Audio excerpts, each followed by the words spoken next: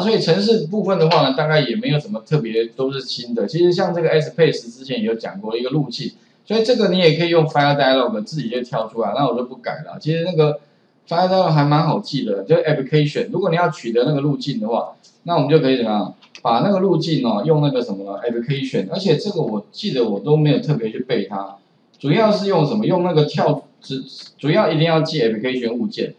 然后呢，Fire Dialog 你就打一个 F，它 Fire Dialog 就有了。然后你要前这边的话，你就什么前刮弧有没有？要选什么？选一个是 Further Picker，所以你就 Further Picker。然后点秀嘛，就是让它秀那个东西。秀那个东西的话，那个就是一个叫 Fire Dialog 的一个算是视窗，有没有？再跳出来。那我们选了之后的话呢，哈，会有一个目录路径嘛，所以你可以把这个什么改成。改成什么？改成 S pace 等于什么？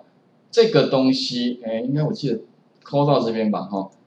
点秀的前面这一段，有没有？变成什么？它第一行是秀，第二行是它选的是什么，把它传给我。所以把点秀改成点 select 啊，select items，那一定是选第一个，它的顺序是从一开始，然后把这个丢到 S pace，OK，大概改这样就可以了。这前面上个礼拜有。讲到，而且其实还蛮好记的，还蛮好用的。主要为什么要用这个？就是你不要把这个路径给写固定的，不然写固定将来你也麻烦。每次的，哎，你还要去改程式啊。如果你写这样的话，其实使用者也会知道啦。你跟他讲说你用选的告诉我就好，我帮你就合并。OK，那只是说合并的这个路径，将来也许你可以再可能怎么样，再把那个路径可能要再去掉前面一个那个什么。